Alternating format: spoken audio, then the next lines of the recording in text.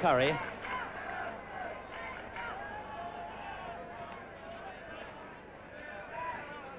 Salmons. Salmons still going. Salmons. Oh, that one was labelled for the near side. Salmons cut through there. Good left foot shot, and uh, Shilton had to show the quickest of reaction to get that one away.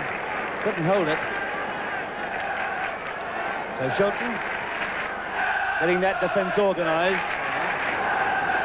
All the Sheffield United players move, all the big men moving in, Currie moving in, Eddie Colquhoun moving in, John Flynn coming up onto the far side of the box. Currie, number 10. Salmons on the edge of the box. It's gone in.